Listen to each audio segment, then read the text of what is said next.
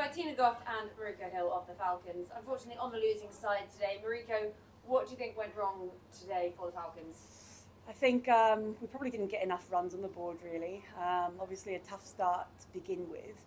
And when we lost a few wickets, we didn't have many big partnerships besides maybe Batesy and, and T. Um, of course, Tina coming in the end really saved us, getting that total up to 134. Um, but really on the field, I reckon we dropped a few um, that were quite costly. Um, and obviously dropping ones also means they take a few runs too. So um, unfortunately not enough on the board, along with not backing up with the, with the fielding and bowling.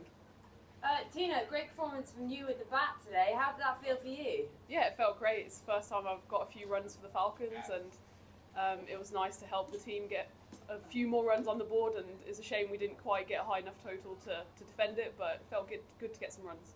And for you, Mariko, obviously we're here in Hong Kong. It is home for you. What's it like to be able to play here with friends and family coming into KCC and to be able to show everyone your hometown? Yeah, it's amazing. I mean, I can't really put words into it. Every time I look out to the crowd, I might see someone that uh, familiar to me. Um, so that always makes it a bit easier when I'm bowling or batting. Um, and the moment I sort of st- stood out there and batted, it was it felt like home. Obviously, it's not my home ground with clubs, but um, we do play here often, and yeah, it made it definitely easier. And Tina, obviously you were part of the Falcons last year as well. It's the first time we've had you in a press conference since then. How much has Fairbreak influenced your game since then, and how what's it like to be back with the Falcons again? Oh, it's amazing to be back, and it's such an incredible influence on everyone's games. Being around these world class players and just learning from them, learning from people from different cultures. I think it was announced during the game today that we had 11 players from 11 different countries on the pitch, and that's something you don't get anywhere else in the world, and it's just an amazing experience both on and off the pitch. And so, two quite tough losses for the Falcons back to back. Mariko, what would be the sort of plan between now and the next game? What is there to go in? Yeah, I guess um, there's a bit of tactics in regards to who's going to be playing. Um, obviously, two two losses, but I mean, Suzie mentioned previously that you know we're a team that's about giving people opportunities, and everyone's had almost two games each now, so that's a huge plus. And although we didn't win on the field, I feel we've won in terms of team unity. And I mean, the spirits are so high still, um, despite the losses, and we can definitely still pick it up because we've got two games left, I believe. Well, I believe we have some questions from people tuning in. From Gomish. So over to you. Um, thanks. Uh, hey guys, hard luck on the result today.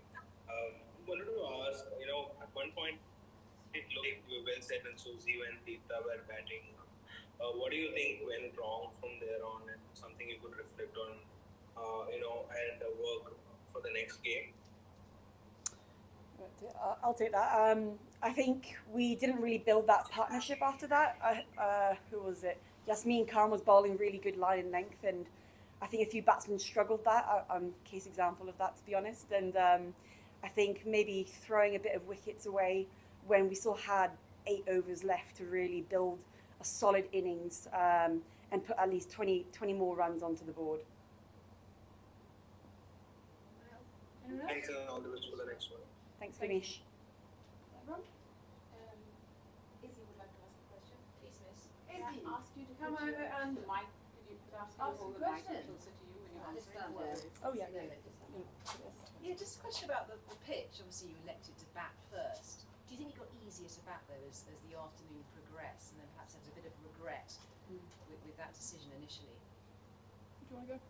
Yeah, uh, I mean, definitely different conditions in regards to the, the moisture of the turf. Um, I don't think we would have changed the decision based on what kind of came out because we did watch on the first innings that the ball was still bouncing. Um, it really was about stumps in play and strategizing the shorter boundaries. But um, no, I, I think um, we would have kept the same decision.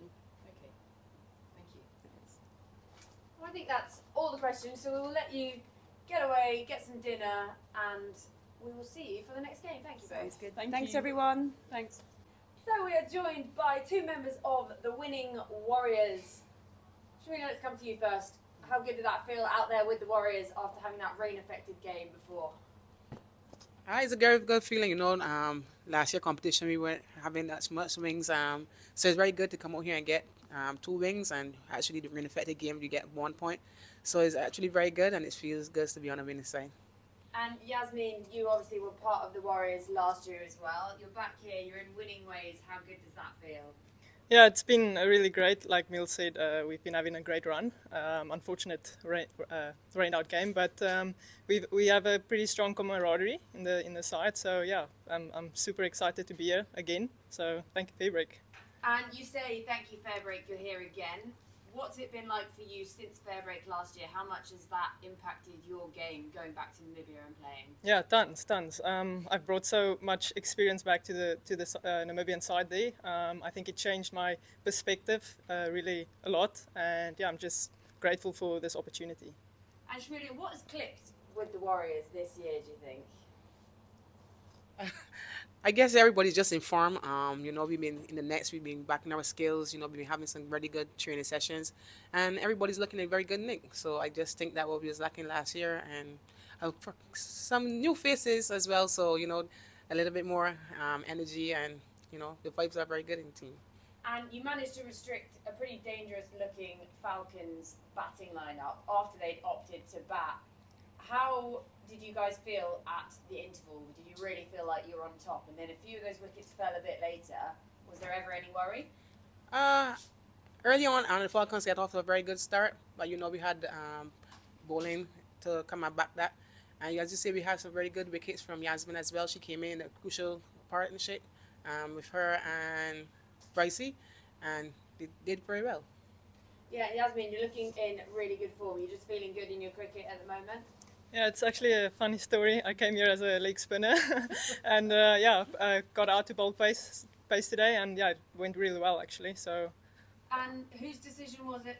Yeah, mine, mine, mine. Really. Uh, yeah, I wasn't really happy bowling uh, leg spin. Um, I know everyone knows it's quite a tough skill to do, um, and yeah, today I bowled pace for uh, yeah, long ago.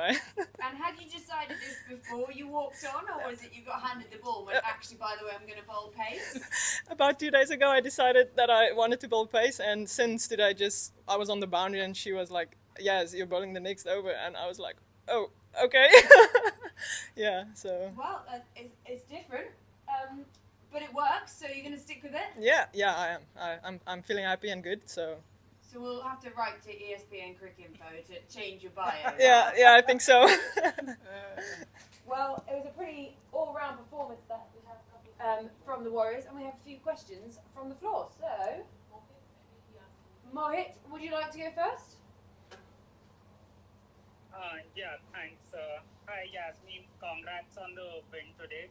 Uh, you just spoke about suddenly switching up to medium pace today. But for Namibia, we've seen you bat everywhere in the batting order. You've kept wickets as well, and now you've like uh, started bowling medium pace too. So like, what do you attribute this versatility to? And yeah, like how does that come to you? Because there are not too many players who do this. One other player who does it is a West Indian, Shemaine Campbelle, who Shamilia knows pretty well. So yeah, I just wanted to ask you about that. Yeah, I think as a as a complete all rounder, it's quite tough to keep up with uh, all the skill sets. Um, yeah, I think today it really just you know came to me. Um, I'm quite lucky that I got a chance to bowl and show what I'm capable of. Um, I did not expect uh, two wickets to be honest, but uh, yeah, yeah, I'm feeling good.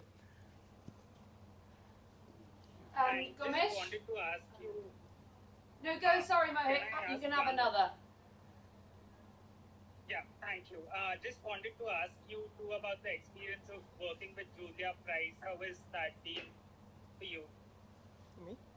Um, yeah, Price is a really great coach. Um, I, I, have a quite a good relationship with her, and she's just been, you know, po- giving positive feedback. And yeah, I think it's definitely improving my game and giving me kind of freedom to just express myself. So really happy with Pricey.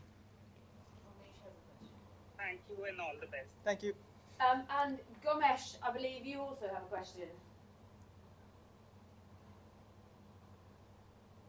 Sorry, my network is bad. I sent it on the chat.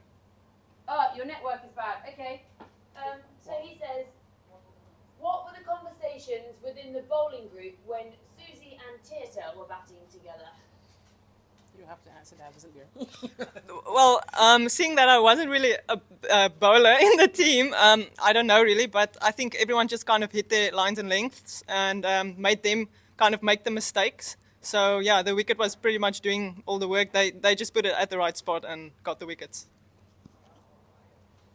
Well, I think that is everything from us. We will let you get away. Um, if you get a chance, get Julia Price to do her Warriors war cry again. it gave me a big old shock when I did the flash interview and that came out of nowhere. But congratulations, Warriors, um, on the winning run.